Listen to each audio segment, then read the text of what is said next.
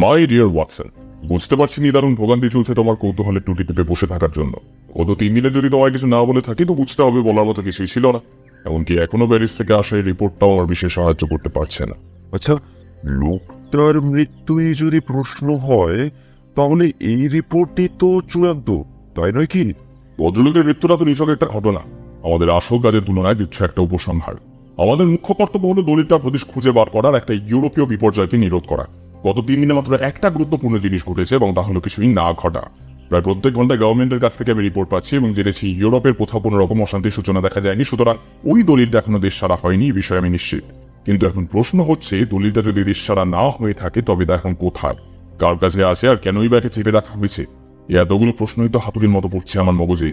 চিঠিটা যে রাতে অদৃশ্য হলো, ঠিক সেই রাতেই লুকাসকে হত্যা করা হলো। এটা কি বাস্তবে কিনসব কাকতারি চিঠিটা কি আদৌ পৌঁছেছিল ওর কাছে? তাহলে তার কাগজপত্রের মাঝে মাঝে চিঠির সন্ধান মিলছে না কেন? ওর বিকৃত মস্তিষ্ক স্মৃতিরবে যাওয়ার সময় চিঠিটাও সঙ্গে নিয়ে গেছেন। তাই যদি হয় তাহলে সেটা কি একটা প্যারিসে বাড়তে আছে। ওরা সে পুলিশের সন্দেহ জাগ্রত না করে আমি কীভাবে এখন সন্ধান করব? বলতো মাই ডিয়ার ওয়াটসন এই কেসটা এমনই যে এখানে আইন আমাদের কাছে যতখানি বিপজ্জনক ঠিক ততখানি বিপজ্জনক ক্রিমিনালরা প্রত্যেকটি লোকের হাত রয়েছে আমাদের বিরুদ্ধে তা সত্ত্বেও স্বার্থের চুক্তিটি অতি বিপুল। অবশ্যই সকল সমাধানে যদি পৌঁছতে পারি তাহলে আমার বৌরম্ময় কর্মজীবনের কুটমনি হয়ে থাকবে এই ঘটনা। কথাটা শেষ হতে না হতেই টেলিফোনটা বেজে উঠল। হ্যালো হ্যাঁ মিয়াস। টেলিফোনটা রেখে ও বেশ উচ্ছ্বাস নিয়ে বলল বুঝলে ওয়াটসন লেস্টার নিশ্চয়ই কিছু খোঁজ পেয়েছে বলে মনে হচ্ছে। টুপিটা তাড়াতাড়ি মাথায় দিয়ে নাও ওয়েস্টমিনস্টারের দিকে একবার যেতে হবে। কিছুক্ষণ পরে আমরা অকুস্থলে পৌঁছলাম। সদর দরজার সামনে আমাদের দেখেই লেস্ট্রিট অভ্যর্থনা জানানো। তারপর আমাদের নিয়ে গেল খুন হওয়া ঘরটায়। ঘরের মাঝখানে একটা ছোট্ট চৌকোনো কার্পেট পাতা আর সেই কার্পেটে এলোমেলোভাবে ছড়িয়ে আছে রক্তের দাগ। ফায়ার প্লেসের উপর অনেক অস্ত্রের সারি সাজানো আছে আর এর মধ্যেই একটা অস্ত্র দিয়ে খুন করা হয়েছে। আমি ঘুরে ফিরে ঘরটা দেখতে লাগলাম। হোমসকে লক্ষ্য করে লেস্ট্রেট বলল প্যারিসের খবরটা দেখেছেন? মাথা নেড়ে সায় দিল হোমস। মনে হচ্ছে আমাদের ফরাসি বন্ধুরা এবার আসল জায়গায় হাত দিতে পেরেছে। ওরা যা বলছে নিঃসন্দেহে ঘটেছেও তাই। দরজায় টোকা দিয়েছিলেন ভদ্রমহিলা। আমার অনুমান আচমকা এসে চমকে দিয়েছিলেন লুকাসকে। দরজা খুলে ভদ্রমহিলাকে ভেতরে আনলেন লুকাস। বাইরে রাস্তায় দাঁড় করিয়ে রাখতে পারলেন না। কীভাবে লুকাসের ডেরা খুঁজে বার করেছেন, তা বললেন ভদ্রমহিলা। কথা বলতে বলতে এক প্রসঙ্গ থেকে অন্য প্রসঙ্গে এসে পড়লেন অচিরে। তারপরেই ছোটখাটো ঝামেলার পর ওই ভোজালির ঘায়ে জবনিকা পড়ল লুকাসের জীবনে। এত কাণ্ড কিন্তু এক মুহূর্তে হয়নি। কেননা ঘরের চেয়ারগুলো গিয়ে জড়ো হয়েছিল দূরে, ওইখানে আর একটা চেয়ার এমনভাবে উনি বাগিয়ে ধরেছিলেন যেন ওই দিয়েই ভদ্রমহিলাকে ঠেকিয়ে রাখতে চেষ্টা করছিলেন। প্রমাণাদি সবই পেলাম এবং তা এমনই জলের মতো পরিষ্কার যে মনে হচ্ছে আমরা যেন নিজের চোখেই দেখছি সে দৃশ্য। ভুল কুচকানো হোমস আর তবুও কিনা আপনি আমাকে ডেকে পাঠালেন? হ্যাঁ সেটা আর একটা বিষয়।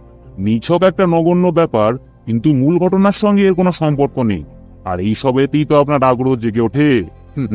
তাই আপনাকে ডাকা। জিনিসটা কি শুনি? আপনারা তো জানেন এই ধরনের অপরাধের পর যেখানকার জিনিস সেইখানেই রেখে দেওয়ার ব্যাপারে আমি বেজায় সতর্ক হয়ে থাকি। দিনরাত একজন কনস্টেবল নিযুক্ত ছিল এখানে। আজ সকালে মিস্টার লুকাসকে কবর দেওয়ার পর তদন্ত পর্ব শেষ হলে ভাবলাম একটু সাজিয়ে গুছিয়ে রাখা যাক জিনিসপত্র। ওই যে কার্পেটটা দেখছেন তো? মেঝের সঙ্গে এটা আটা নেই শুধু পেতে রাখা হয়েছে। কার্পেটটা তুলতে গিয়ে দেখলাম হ্যাঁ তুলতে গিয়ে কি দেখলেন? উদ্বেগে টান টান হয়ে উঠল হোমসের মুখ। যা দেখলাম তা আপনি অনুমানও করতে পারবেন না মিস্টার হোমস। কার্পেটের ওপর ওই দাগটা দেখছেন তো? বেশ খানিকটা রক্ত ভেতরেও নিশ্চয়ই শুষে নিয়েছে কার্পেটটা। কিন্তু শুনে আশ্চর্য হয়ে যাবেন যে সাদা কাঠের ওপর ওই রক্তের দাগটার সঙ্গে কার্পেটের দাগটার মিল নেই। মিল নেই কিন্তু তা তো থাকতেই হবে। ঠিক কিন্তু আসলে দেখা যাচ্ছে সে দাগটা নেই। কার্পেটের কোণটা তুলে নিয়ে উল্টে ফেলে রেস্ট্রেট দেখাল বাস্তবে কি সে যা বলছে তা সত্যি। কিন্তু গালিচার তলার দিকে দাগটা যতখানি উপরের দিকে ততখানি। কাঠের উপর নিশ্চয় চিহ্ন পড়েছে রক্তের। সুবিখ্যাত বিশেষজ্ঞকে হতবুদ্ধি বানিয়ে দেওয়ার উল্লাসে মুখ টিপে নিঃশব্দে হেসে উঠল লেস্ট্রেট এইবার আপনাকে দেখাচ্ছি এর ব্যাখ্যা। দ্বিতীয় দাগ আছে কিন্তু তা প্রথমটার সঙ্গে মিলছে না। নিজেই দেখুন। বলতে বলতে কার্পেটের আর একটা অংশ উল্টে ফেলল সে। আর সত্যি সত্যি দেখলাম বেশ খানিকটা টকটকে লাল রক্ত গড়িয়ে পড়েছে পুরানো কায়দায় সাদা মেঝের ওপর। মিস্টার হোমস কি মনে হয় আপনার? এ তো জলের মতন সোজা। দুটো দাগে ওপরে পড়ছিল। তো কার্পেটটা পরে ঘুরিয়ে দেওয়া হয়েছে। চৌকোয়া কার্পেট মোটেই বেগ পেতে হয়নি। মিস্টার হোমস কার্পেটটা যে ঘোরানো হয়েছে সেটা ঠিক। কিন্তু আমি জানতে চাইছি কার্পেটটা ঘুরিয়েছে কে এবং কেনই বা ঘুরিয়েছে? হোমসের শক্ত মুখ দেখে বুঝলাম অবরুদ্ধ উত্তেজনায় কেঁপে কেঁপে উঠছে ও। বলল আচ্ছা লেস্ট্রেড প্যাসেজের ওই কনস্টেবল সর্বক্ষণ এখানে পাহারা দিয়েছিল। নিশ্চয়ই। আমার একটা উপদেশ নাও। খুব সাবধানে ওকে পরীক্ষা করো। তবে আমাদের সামনে করো না আমরা বরং এখানে অপেক্ষা করছি। তুমি ওকে পিছন দিককার ঘরে নিয়ে যাও। একলা থাকলে অনায়াসে ওর কাছ থেকে একটা স্বীকারোক্তি আদায় করে নিতে পারবে তুমি। ওকে জিজ্ঞেস করো কোন সাহসে বাইরের লোককে ভেতরে ঢুকিয়ে একলা রেখে গিয়েছিল। চাপ দাও।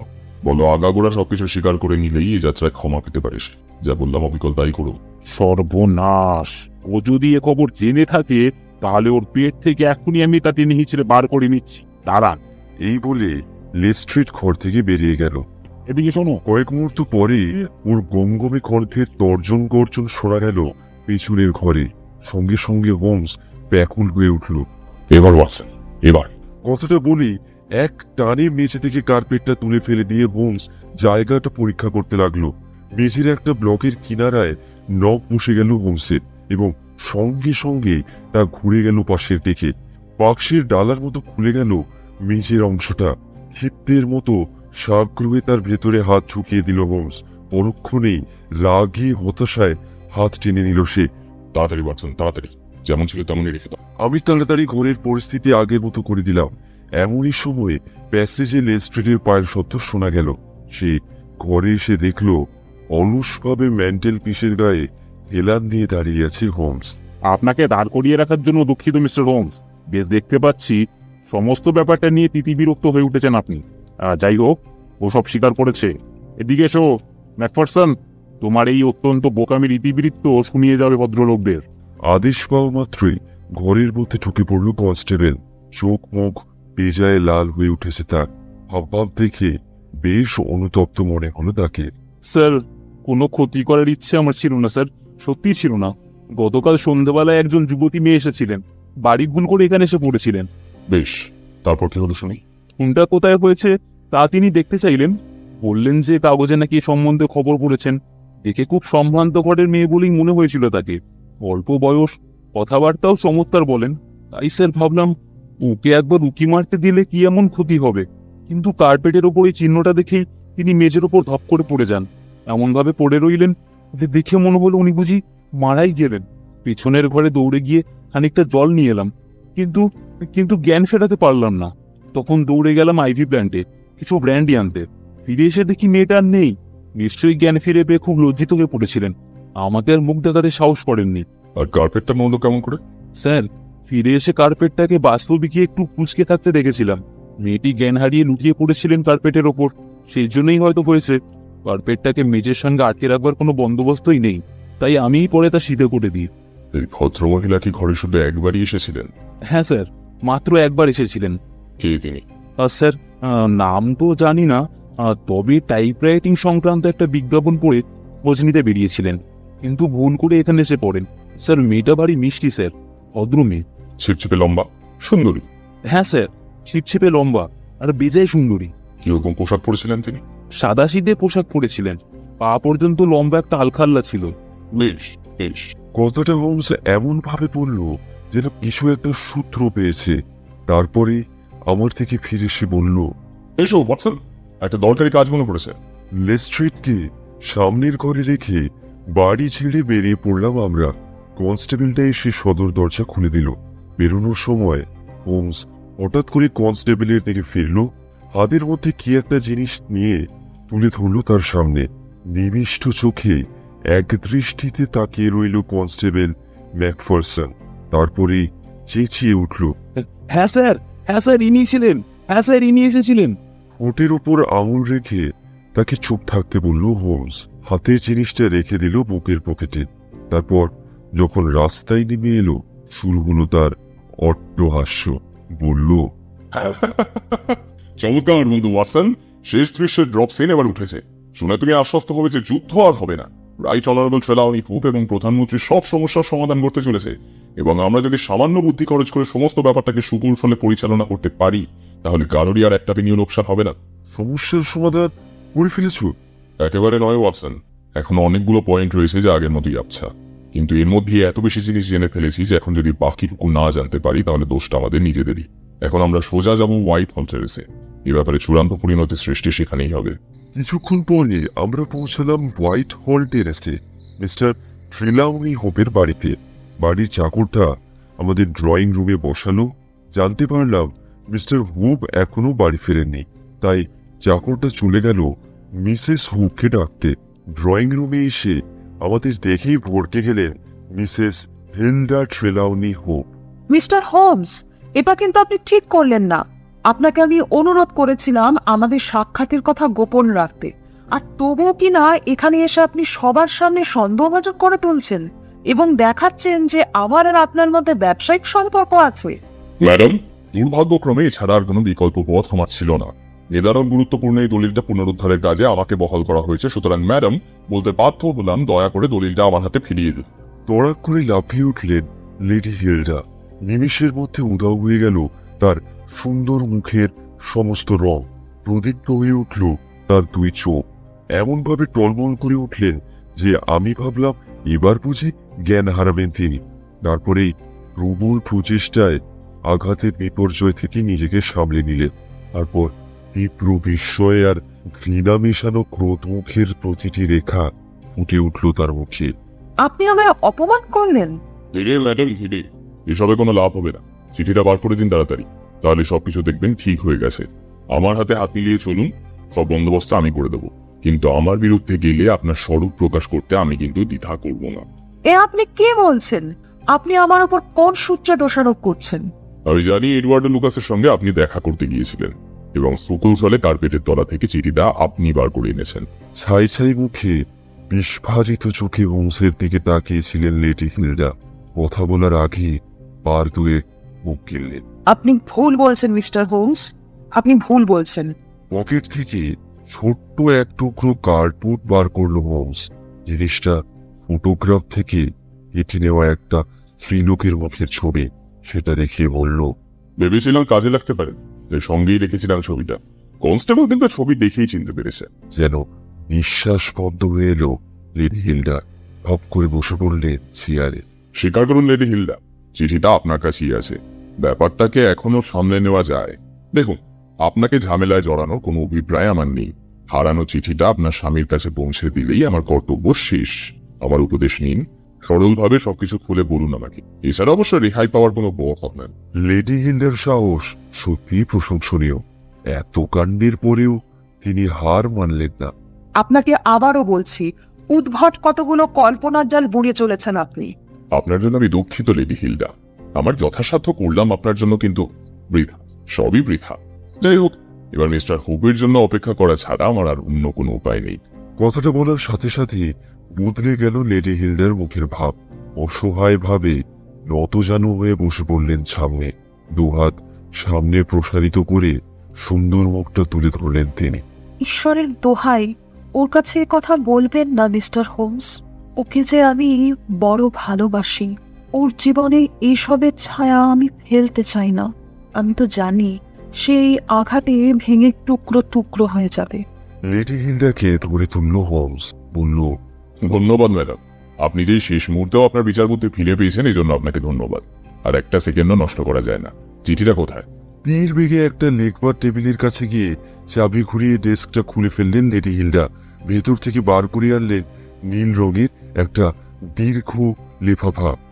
এই সেই চিঠি মিস্টার হোমস। ঈশ্বরের নামে শপথ করে বলছি ভেতরে কি আছে তা আমি কোনোদিনই খুলে দেখিনি। আহ, কি করে ফেরত হুম, তাড়াতাড়ি কিছু একটা উপায় ভেবে বার করতেই হবে আমাদের। স্কেচ বক্সটা কোথায়? শোবার ঘরে আছে। ও সৌভাগ্য আমার। তাড়াতাড়ি। ম্যাডাম বাক্সটা নিয়ে আসুন। কথাটা শোনা মাত্রই তিনি চলে গেলেন। মুহূর্ত পরে লাল রঙের একটা চ্যাটালো বাক্স হাতে ফিরে এলেন লেডি হিলডা। এর আগে আপনি বাক্সটা কি করে খুলেছিলেন? নিশ্চয়ই নকল চাবি আপনার কাছে আছে। বাক্সটা খুলি বুকের ভেতর থেকে ছোট্ট একটা চাবি বের করলেন লেডি হিলডা তারপরে খুলে ফেললেন বাক্সের তালা। কাগজপত্রে ঠাসা ভেতরটা নীল লেফাফাটা একদম ভেতরে ঠেসে দিল হোমস তারপর সেটা বন্ধ করে ফেরত দিয়ে দিল। বাক্সটা তালা দিয়ে সেটাকে আবার শোবার ঘরে রেখে এলেন লেডি হিলডা এইবার আমরা তৈরি। এখনও দশ মিনিট হাতে আছে। আপনাকে আড়াল করতে যে অনেক দূর গুড়িয়েছি লেডি হিলডা তার প্রতিদানে আপনি শুধু এই সময়টুকুর মধ্যে বলুন, এই অসাধারণ ব্যাপারের আসল অর্থটা কি? মিস্টার হোমস, সবই বলব আপনাকে। সবকিছুর মূলে আছে আমার লেখা একটা চিঠি। বিয়ে হওয়ার বহু বছর আগে অবিবেচকের মতো একটা প্রেমপত্র লিখেছিলাম। যদিও এই চিঠি লেখার পর অনেকগুলো বছরই কেটে গেছে তবুও এই চিঠি আমার স্বামীর কাছে এলে আমাদের বৈবাহিক জীবনে ফাটল ধর। আমার ওপর ওর সমস্ত আস্থা চিরকালের মতো ধ্বংস হয়ে যেত। ভেবেছিলাম সমস্ত ব্যাপারটা ভুলে গেছে সবাই। আর তারপরেই এই লুকাস লোকটার কাছে শুনলাম যে চিঠিটা তার হাতে এসে পৌঁছেছে এবং শিগগিরই সে আমার স্বামীর সামনে তা হাজির করবে। আমি অনুনয় করে দয়া ভিক্ষাও করলাম ওর কাছে।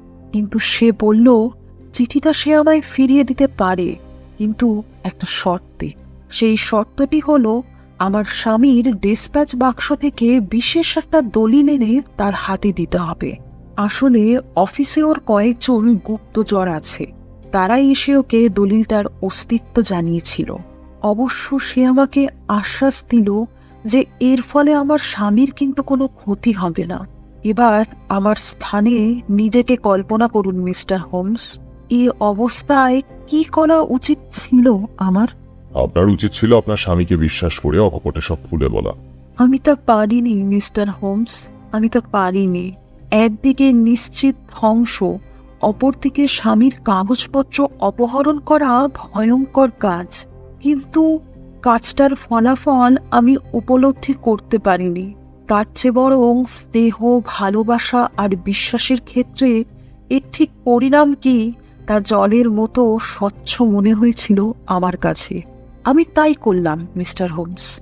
চাবিটার একটা ছাপ নিলাম। এই লুকাস লোকটা একটা নকল চাবি আনিয়ে দিল আমায়। ডিসপ্যাচ বাক্সটা খুলে কাগজটা নিয়ে পৌঁছে দিয়ে এলাম গোডলফিন স্ট্রিটে। তারপর সেখানে কি ঘটলো? পূর্ব ব্যবস্থা মতো দরজায় টোকা দিলাম আমি। দরজা খুলল লুকাস। তার পিছু পিছু গিয়ে পৌঁছালাম তার ঘরে। হল ঘরের দরজাটা দুফাক করে রেখে এলাম।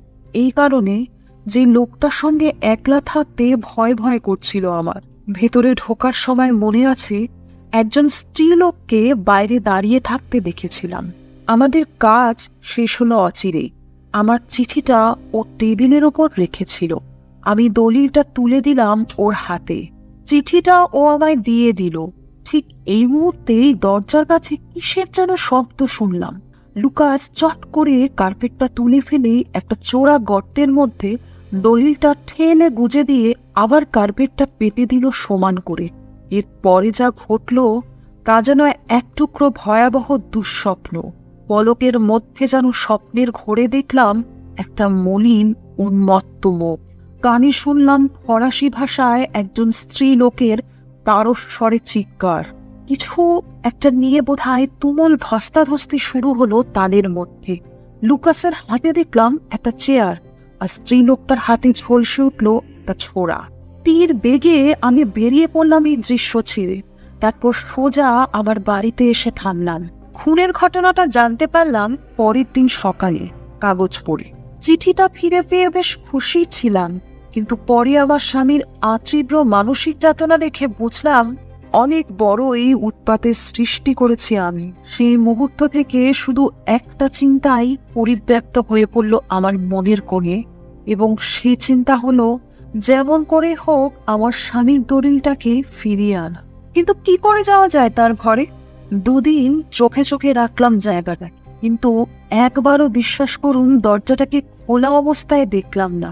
গত রাতে শেষ চেষ্টা করলাম। কি করেছিলাম এবং কীভাবে আমি কার্যোদ্ধার করি, তা তো আপনি আগেই জেনেছেন। যাই হোক, কাগজটা নিয়ে এলাম বাড়িতে। অপরাধ স্বীকার না করে স্বামীর কাছে এই দলিল ফিরিয়ে দেওয়ার কোনো পথ না পেয়ে ভাবলাম, নষ্ট করে ফেলব কাগজে কথাটা বলতে বলতে হঠাৎ একটা গাড়ির শব্দ পেলাম আমরা।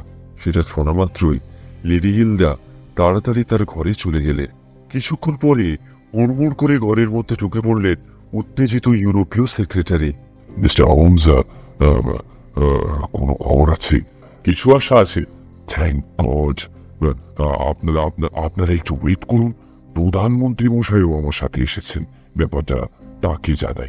এই বলে তিনি আবার বাইরে চলে গেলেন। কিছুক্ষণ পরে দুজনেই ঘরে ঢুকলেন। প্রধানমন্ত্রীর অচঞ্চল হাবভাবে সংযমের প্রকাশ দেখলাম। কিন্তু তবুও তার চোখের দীপ্তে আর অস্থির হাতের মৃদু কম্পন দেখে বুঝলাম তরুণ সহকর্মীর উত্তেজনার কবল থেকে তিনিও নিস্তার পাননি। শুনলাম শুনলাম রিপোর্ট দেওয়ার মতো খবর এনেছেন মিস্টার হোমস হ্যাঁ তবে এখনও পর্যন্ত কিন্তু সেটা পুরোপুরি না বাচক। যেখানে যেখানে দলিলের হদিশ পাওয়া সম্ভব সব জায়গাতেই আমি খবর নিয়েছি। কোন রকম বিপদের আশঙ্কা যে নেই এ ব্যাপারে আমি নিশ্চিত। কিন্তু তা তো যথেষ্ট নয়। এরকম একটা আগ্নেয়গিরির উপর আমরা তো চিরকাল বসে থাকতে পারি না। নিশ্চিত কিছু একটা আমাদের করতেই হবে। আশা করছি আমরা তা পাবো। সেই কারণেই আমি এখানে এসেছি। এ ব্যাপার নিয়ে আমি যতই ভাবছি ততই একটা বিশ্বাস দৃঢ়মূল হয়ে যাচ্ছে আমার মনে যে চিঠিটা কখনোই এ বাড়ির বাইরে যায়নি। কারণ যদি যেত তাহলে তা এতক্ষণে জনসাধারণের সামনেই উপস্থাপিত হতো। কিন্তু মিস্টার হোমস এ বাড়ির মধ্যে রেখে দেওয়ার জন্য কে বা সহায়তে যাবে বল আর কেনই বা নেবে আমি বিশ্বাস করি না যে চিঠিটা কেউ নিয়েছে। তাহলে ডিসপ্যাচ বাক্স থেকে চিঠিটা উধাও হলো কেমন করে?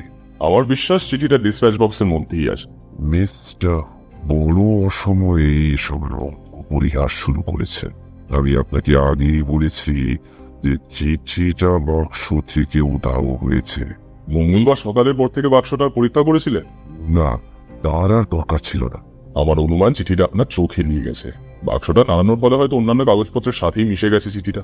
অসম্ভব মিস্টার হোমস আমি আমি সবকিছু বার করে দেখেছিলাম। প্রধানমন্ত্রী মশাই এতক্ষণ চুপ করে সবকিছু শুনছিলেন। এবার বললেন, ও, অনায়াসেই তো এই সমস্যার সমাধান করা যায়। ডিসপ্যাচ বাক্সটা এখানে আনাও দেখি। ঘণ্টা বাজালেন সেক্রেটারি জেকবস জেকবস, আমার ডিসপ্যাচ বাক্সটা নামিয়ে আন। কিছুক্ষণের মধ্যে চাকর এসে বাক্সটা দিয়ে গেল। মিস্টার হোপ সেটা খুলে একটা একটা করে কাগজগুলো বের করতে লাগলেন এই, এই- এই দেখুন এই দেখুন কাগজগুলো। লর্ড মেরুর চিঠি এই হচ্ছে স্যার চার্লস হার্বির রিপোর্ট আর এইটা বেলব্রেভ থেকে সংক্ষিপ্ত বিবরণী রাশিয়ান জার্মান ত্যাগ সংক্রান্ত কাগজ এটা হচ্ছে, এটা, এইটা এইটা হচ্ছে মাদ্রিদের চিঠি লর্ড ফ্রাউরেসের চিরকুট। হ্যাঁ আরে এটা লর্ড অ্যাভিনগার এই দেখুন। বাক্স থেকে বেরিয়ে এলো নীল লেফাফাটা। চিঠিটা তার হাত থেকে নিয়ে ভালো করে দেখতে লাগলেন প্রধানমন্ত্রী সেক্রেটারি মশাই এবার যেন হাফ ছেড়ে বাঁচলেন। এক গুরুবার পাথর নেমে গেল আমার মুখ থেকে। কিন্তু কিন্তু এই যে অকল্পনীয় মিস্টার হোমস আপনি আপনি কি করে জানলেন যে চিঠি এখানেই রয়েছে? কারণ আমি জানতাম এই চিঠি আর কোথাও নেই। ধন্যবাদ মিস্টার হোমস। ধন্যবাদ আপনাকে। আপনাকে আপনাকে শত কোটি তা আমার আমার স্ত্রীকে ব্যাপারটা বলে আসি। সব ঠিক হয়ে গেছে। এই বলে ক্ষিপ্তের মতো দরজার কাছে ছুটে গেলেন সেক্রেটারি। সিঁড়ির ওপর থেকে ভেসে এলো তার কণ্ঠস্বর। এদিকে চকচকে চোখে মিটমিট করে হোমসের দিকে তাকিয়ে রইলেন প্রধানমন্ত্রী। বললেন, এবার বলুন তো মশাই, এই ব্যাপারে চোখের ব্যাপার চেয়ে অদেখা জিনিস বেশি আসে মনে হচ্ছে। চিঠিটা ফিরে এলো কি করে? আশ্চর্য ওই দুটো চোখের তীক্ষ্ণ অনুসন্ধানী দৃষ্টির সামনে থেকে মুচকে হেসে সরে গেল হোমস। বলল মিস্টার প্রেসিডেন্ট, আমাদেরও তো কিছু কিছু কূটনৈতিক মন্ত্রগুপ্তি আছে। এই বলে টুপিটা তুলে নিয়ে হোমস এগিয়ে গেল দরজার দিকে।